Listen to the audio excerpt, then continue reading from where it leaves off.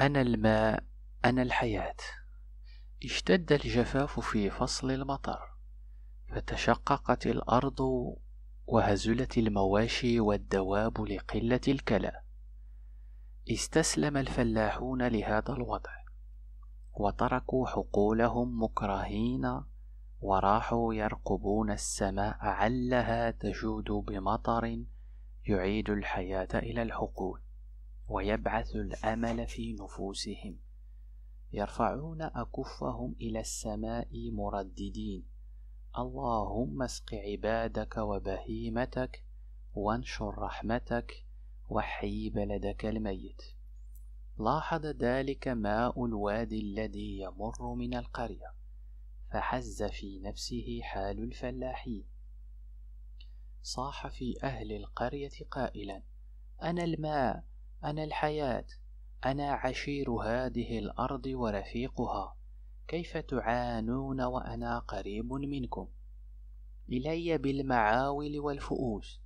إلي بالسواعد المفتولة والعزائم القوية. هيا أسرعوا إلى العمل قبل أن يعم الهلاك. احفروا السواقي ومدوا القنوات. واسقوا الأرض لتعود إليها الحياة.